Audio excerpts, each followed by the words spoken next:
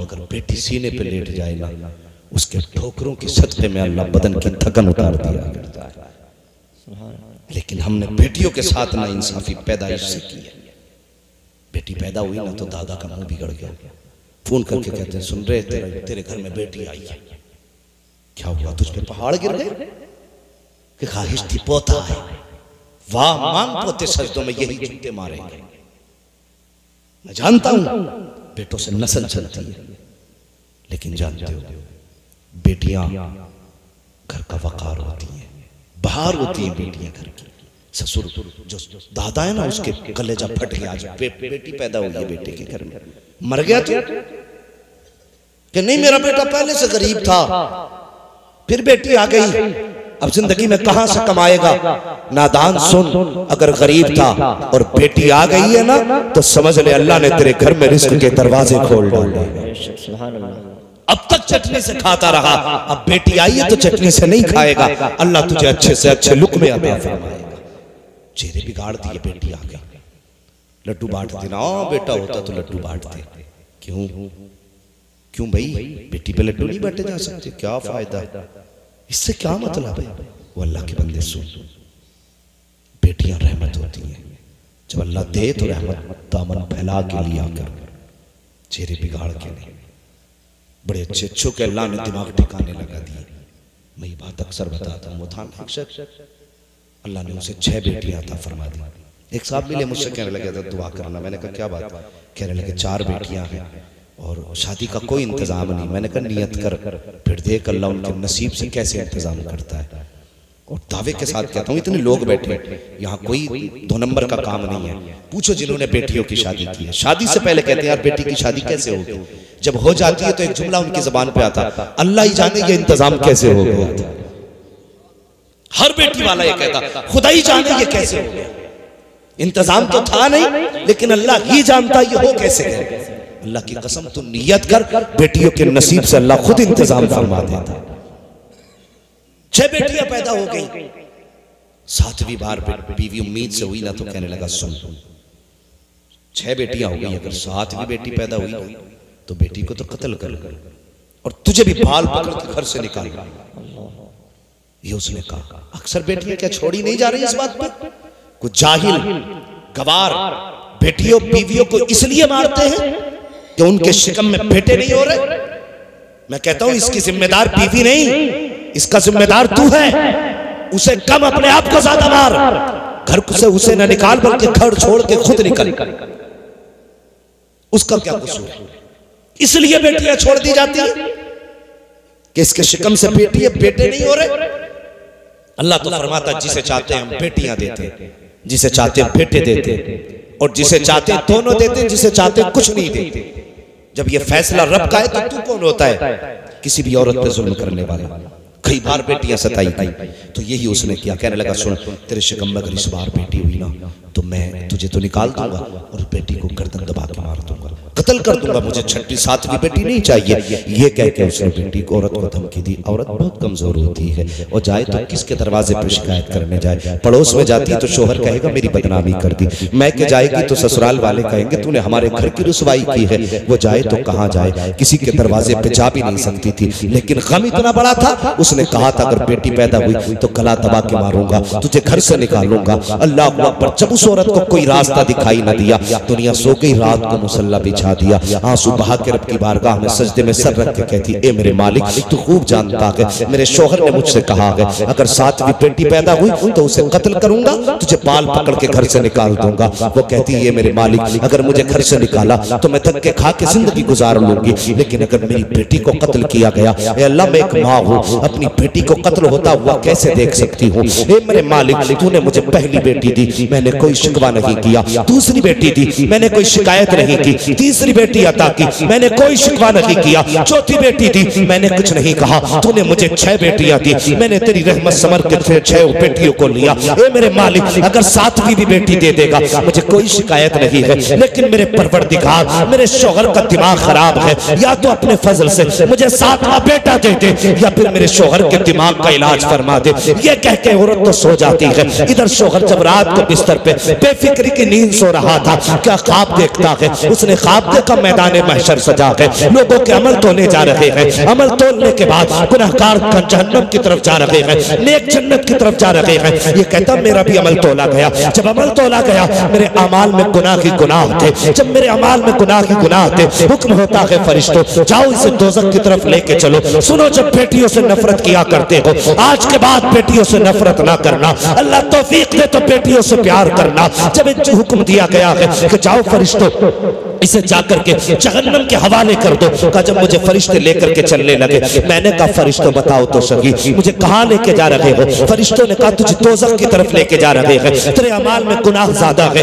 नेकियाँ कम है। कहता मैं मायूस था, लेकिन हैरत हुई। कहा, जब जन्नत के जहन्नम के दरवाजे पे पहुँचा तो पहले दरवाजे पे गया। अल्लाह ने मुझे छह बेटियाँ अदा की थी। जहन्नम के दरवाजे सात बनाए गए हैं। वो कहता, जब पहले दरवाजे पे गया तो पहले दरवाजे पे मेरी बड़ी बेटी खड़ी थी। उसने अपने यूँ हाथ लगा दिए थे। उसने कहा था, या अल्लाह, ये मेरा बाप है। इसने मेहनत करके पाला है। ये दोजख में जाएगा, एक बेटी को गवारा नहीं होगा। उसने हाथ लगा के कहा, मालिक, मैं इसे दोजख में जाने नहीं दूँगी। का फरिश्तों ने देखा, मेरी बेटी ने हाथ लगा रखे हैं। पहले दरवाजे से हटाया, दूसरे दरवाजे पे लेकर के गए, दूसरे दरवाजे पे पहुँचे हैं तो दूसरी बेटी हाथ लगा के खड़ी है। दूसरे दरवाजे से हटाया, तीसरे दरवाजे पे लेकर के गए, तीसरी बेटी खड़ी थी चौथे दरवाजे दरवाजे पे लेकर के गए। चौथी बेटी खड़ी थी, पाँचवें दरवाजे पे गए, पांचवी बेटी खड़ी थी, का छठे दरवाजे पे लेके गए। तो छठी बेटी खड़ी थी, वो कहता, दरवाजे सात थे, बेटियाँ छह थी, का छह दरवाजों पर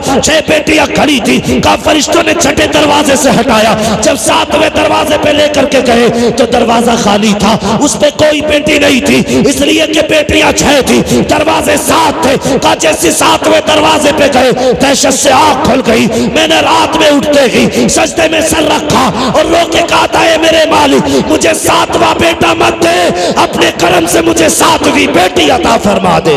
वाह, जिंदाबाद, नारे तकबीर, नारे रिसालत, नारे गौसियत मसल के आला हज़रत, फैजान आला हज़रत, अल्लामा मुफ्ती हम्माद रजा साहिब किबला, नारे तकबीर, नारे रिसालत, बहुत अच्छे। बेटियाँ आती है तो जन्नत का टिकट बन के आती है। लेकिन जानते हो मेरे हुजूर ने फरमाया जिसको खुदा ने तीन बेटियाँ दी। डायरेक्ट जन्नती नहीं कहा मेरे हुजूर। ये जहन में बात रखे। डायरेक्ट नहीं कहा तीन बेटियों वाला जन्नत है। फरमाया तीन बेटियाँ दी। उनकी अच्छे से सही तरीके से परवरिश की इज़्ज़त से रुखसत कर दिया। परवरिश में जो बताया गया, फरमाया, सबसे पहले अच्छा नाम रखा। अच्छा नाम कैसा? जो नया हो जमाने के एतबार से नहीं। फरमाया, जिसका नाम बरकत वालों की निस्बत से रखा गया हो, वो अच्छा नाम कहलाता है। हम लोग क्या करते हैं? मौलाना कोई नया नाम बताओ। ऐसा चटकता पटकता जो किसी ने ना सुना। धुआँ रख दे। कहीं नहीं सुना होगा किसी का नाम। बादल रख दे। ये नए नाम चाहिए। फरमाया गया ऐसे नाम रखो बुज़ुर्गों की निस्बत से रखे गए। खुदा की कसम बेटी पैदा हो ना तो पैदा होती बेटी का नाम फातिमा रख दे बेटी का नाम आमीना रख दे नबी की माँ की मोहब्बत। हाँ अच्छा नाम रखा फिर उनकी अच्छी परवरिश दी। अच्छी परवरिश का मतलब क्या गोश्त से रोटी खिलाता रहा? तेल वाले शुरवे पिलाता रहा। नहीं। अच्छी परवरिश से मतलब है जो तालीम उसके लिए ज़रूरी थी वो तालीम दिला और तालीम ज़रूरी कौन सी दीन की तालीम फ़र्ज़ है।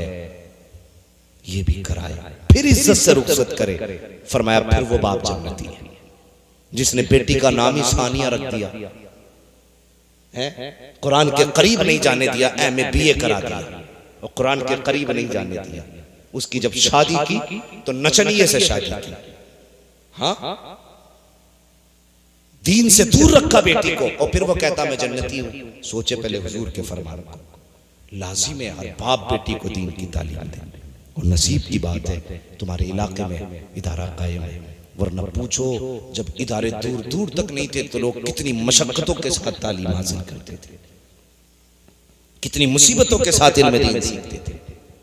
कोशिश करें अपनी बच्चियों को पढ़ाएँ। और ये आपकी बस्ती। क्या नाम है बस्ती का? इस्लाम नगर अल्लाह सलामत रखे नाम बड़ा प्यारा है। क्या ही अच्छा हो काम उतना ही प्यारा हो जाए।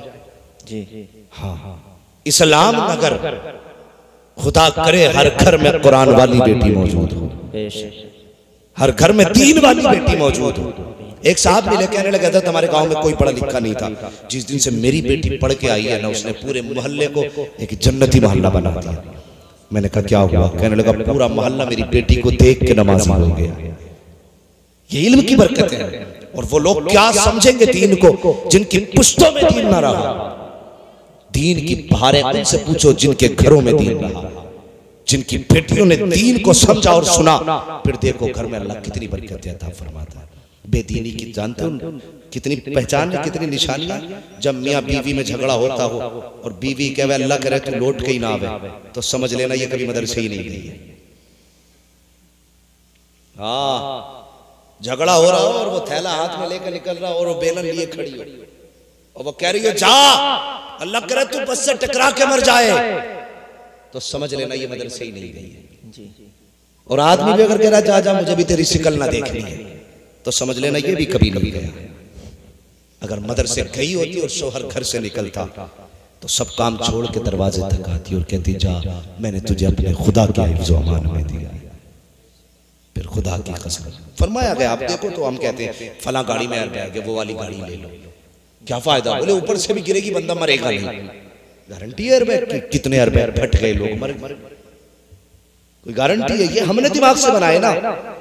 फला गाड़ी में एयरबैग है नहीं मरते साहब। उसमें चार एयरबैग है। गारंटी के साथ कहता हूँ कितना ही बड़ा एयरबैग ले आ कोई एयरबैग हिफाजत नहीं करेगा। मेरे हुजूर ने फरमाया जब मियाँ बीवी जुदा होने लगे बीवी दरवाजे तक छोड़ने आए शोहर को। तो बीवी आयतुल कुर्सी पढ़ करके शोहर पे दम करे। और शोहर आयतुल कुर्सी पढ़ के बीवी पे दम करे। अल्लाह अकबर फरमाने नबवी है जब दोनों जुदा होंगे तो उस वक्त तक मौत भी जुदा नहीं कर सकती जब तक दोनों को दोबारा मिला नहीं दिया जाए। ये सबसे बड़ा सेफ्टी गार्ड लेकिन पता ही नहीं कुछ को तो यही पता होगा कुर्सी पता ना क्या कह गया मौलवी। कहीं पूरा कुरान तो नहीं कह गया पढ़ाइए बच्चों को। बेटियों को पढ़ाइए। घर के माहौल अच्छे होंगे। अगर माहौल बेटियाँ पढ़ी लिखी होंगी ना तो फिर चिमटी फुकनियों से लड़ाई नहीं होगी। ये गालियाँ नहीं दी जाएँगी जा लौट के ना आए। तेरा तो रास्ते में ही जनाजा उठ जाए तेरी सूरत देखना नहीं चाहती। तुझे देखना नहीं चाहती। ये कब होता है जब घरों में इल्म नहीं होता है? जब इल्म होगा तो बीवी को शोहर की इज़्ज़त और उसकी अजमत का अंदाज़ा होगा मुझे शोहर से कैसे गुफ्तगू करनी है ये बीवी जानती है अगर इल्म होगा। तो बीवी के बारे में शोहर जानेगा इसका मुझ पे हक क्या है? वो फिर उसके साथ ज्यादती नहीं करेगा। मुझे बताओ तो सही, हमने इल्म को अहमियत कर दी है। हमने कभी इल्म को अहमियत नहीं दी। हमने हमेशा दौलत को अहमियत दी है। और सुन, दौलत वो चीज़ है कि एक चोरी में खत्म हो सकती है, एक जलजले में खत्म हो सकती है, एक डाके में खत्म हो सकती है। लेकिन इल्म वो चीज़ है जिसको चुराया नहीं जा सकता है, जिसको छुपाया नहीं जा सकता है, जिसको छीना नहीं जा सकता है। इल्म वो है, जितना बांटा जाता है, ये उतना बढ़ जाया करता है। इसलिए ज़रूरी है। बेटियों को पढ़ाओ। पढ़ाएँगे इंशाल्लाह। बोलो इंशाल्लाह। हाँ कभी बेटियों को पराया नहीं करना बेटियों को अपना समझ के पढ़ाना। अगर बेटे बुढ़ापे का सहारा होते हैं तो बेटियाँ काय का सहारा होती है?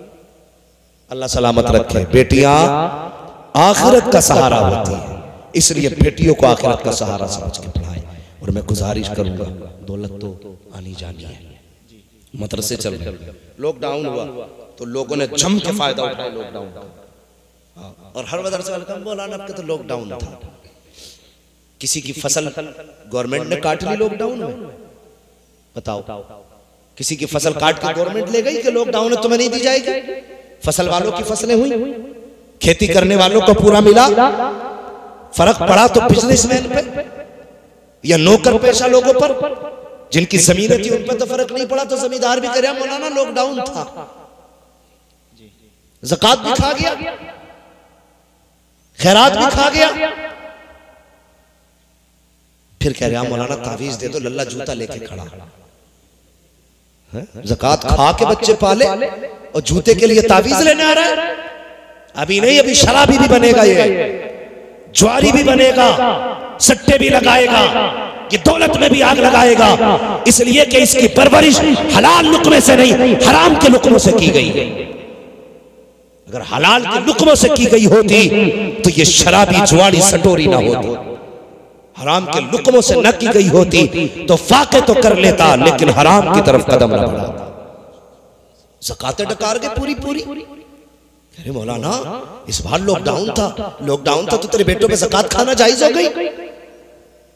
जो मदरसों का था वो भी खा गए। उन नौजवानों बदलो तरीके। जो हक तुम पे अल्लाह ने रखा है वो हक वापस करो उसका। दो वरना औलाद खो बैठोगे। औलाद खोने का मतलब ये नहीं मर जाएगी। होगी तो लेकिन तुम्हारी नहीं होगी। सर तुम्हारा होगा जूता तुम्हारे बेटे का होगा। गरीबान उसका होगा जिल्लतें तुम्हारी होगी। बैठे जवान। अल्लाह सलामत रखे। जवानों मेरी बात याद रखना। भूखे भी मरना पड़े तो मर जाना।